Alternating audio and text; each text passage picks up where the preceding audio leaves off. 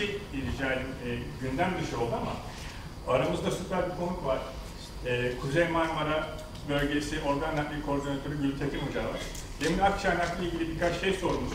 O da belki bir beş dakika rica etsek acaba bir açıklama yapar mı kendisi? Sağ olun.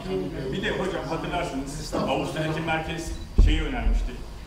Yani dernekler farkındalık çalışması yapıyorlar ama Evet. organ nakli gerektiren hastalar ne yapıyorlar diye sormuşlardı.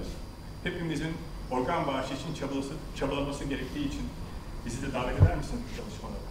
Şimdi öncelikle değerli hocalar, kıymetli misafirler, hepinize merhaba. Hocam şöyle alsak videoya çıkalım. Bence böyle gelsin. Evet, videoyu alalım sizi. Estağfurullah. Zahmet vermeyin.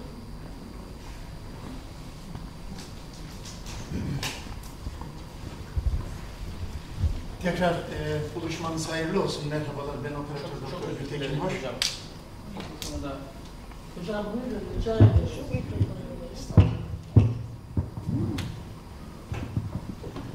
Bugün misafirliğe gelmiştik ama tabii söz yine bizi buldu. Olsun, yeter ki bir katkımız olsun. Değerli hocalarım, e, şeref verdiniz sizler de. E, Çok sevgili misafirler, ben operatör doktor Gültekin Hoş. Kendim normalde bir karaciğer nakli cerrahıyım ama yaklaşık son bir yıla yakındır İstanbul Kuzey Marmara bölgesinin yani Sakarya'dan Edirne'ye içinde İstanbul gibi bir dünyanın olduğu altı kentin, altı şehrin, İstanbul'a şehir demeye bin şahit lazım.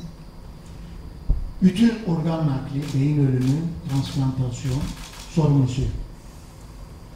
Yani bir başka deyişle 8 ay öncesine kadar sadece karaciğer nakliyle uğraşan, zaten yeterince ağır işi olan bir cerrahken son 8-9 aydır tüm bölgede bu önemli meselenin de Sağlık Bakanlığı cephesinde temsilcilerinden biri. Branşın karaciğer olmasına rağmen her zaman organ bağışına ve diğer organlarla alakalı sıkıntılara merak duymuş bir kardeşinizdim. Ama şimdi tüm organ nakliminde, organ bağışının sorumlusu olduğum için akciğer nakliyle alakalı da dersimizi çalıştık. Ülkemizde organ bekleyen sayısı kabaca 30 bin. Ama aslında diyalize giren hasta sayımız 80 bine yakın unutmayın. Bu şu demek oluyor. 80 bin diyaliz hastası içinde canlı donörü, akraba vericisi olmayanlardan sadece 22 bini listeye girmiş durumda. Bir kısmı ümit yok, bir kısmı zaten kadavra çıkmaz, bir kısmı da haberdar olmadığı için listede değil. Bakın bu böbrek noktası. Akciğere gelince çok fazla başlık var ama bizim özellikle dert ettiğimiz akciğer nakli merkezlerimizin bugün olduğu durum. Siz biliyor musunuz bu ülkenin ilk başarılı akciğer nakli yapılan Süreyya Paşa Hastanesi'nde bugün akciğer nakli yapılmadığını? Siz biliyor musunuz bu ülkenin ilk başarılı retransplant yani ikinci akciğer naklinin yapıldığı Yedikule göğüs hastalıklarında akciğer nakli yapılmadığı ve siz biliyor musunuz ülkemizin nice kadim üniversitesinden olan İstanbul Üniversitesi ve nice kadim yani İstanbul'un fethiyle yaşıt ambleminde 1453 yazan İstanbul Tıp Fakültesi'nde akciğer naklinin kapandığını yapılmadığı. Hepsinin farklı sebepleri var. Son akciğer nakli ekiplerimizi, kıymetli akciğer nakli cerrahi ekiplerimizi, göğüs ekiplerimizi, pulmonoloji ekiplerimizi neden akciğer nakli yapamaz hale geldiğini, kurumların, ekiplerin farklı sebepleri var. Ama bu önemli bir şey. Bu önemli bir dert. Bu sadece pulmoner arter hastalarının skleroderma vesaire diğerlerinin derdi olmaması lazım. Bunlar milli meseleler. O yüzden biz şu anda bütün bu yükü yüklenen koşu yolu, İstanbul koşu yolu, Kartal koşu yolu ki minnettarız. Hastanesine, Ankara Şehir Hastanesi'ne, Ege'ye, diğer gayret yine devam etmeye olan Marmara Akciğer Nakli ekibine çok çok değer veriyoruz, vermeliyiz. Yani konunun çok ayağı var. Nakil ekipleri, bağış farkındalığı şeklinde.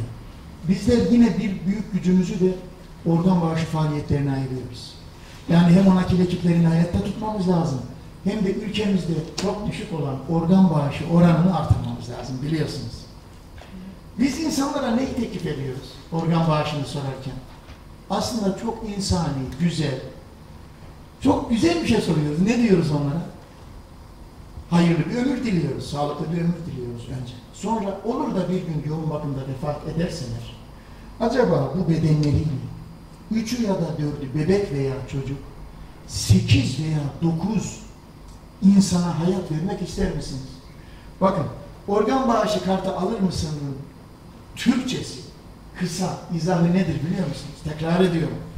Bir gün yoğun bakımda ölürseniz, kesin çürüyecek olan bu bedenle dördü bebek veya çocuk, sekiz dokuz insana hayat vermek ister misiniz?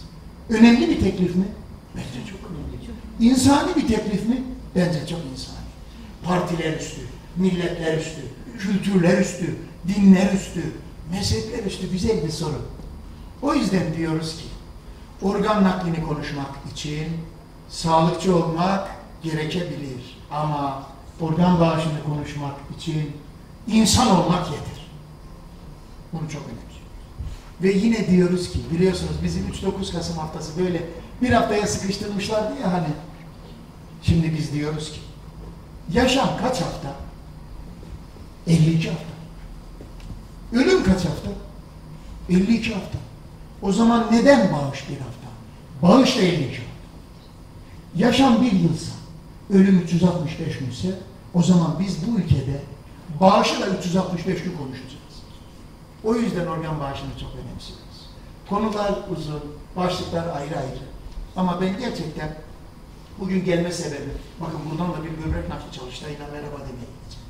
Ben sadece, tekrar ediyorum, Sağlık Bakanlığı Kuzey Marmara Bölge Başkanı olarak ama içinizden de bir kardeşiniz olarak organ bağışı aktivisti olmak için dört evladından birinin organ bekleme şartını beklemeyen bir baba olarak ama son 9 yılını da karaciğer nakline vermiş ve ülkemizin kadim kurumlarından Şişli Etfal Hastanesi'ne karaciğer nakli ünitesi kurmuş bir cerrah olarak size sadece aslında bir merhaba demeye gelmiştim. Merhaba biraz uzadıysa affınıza sığınırım. Teşekkür ederim.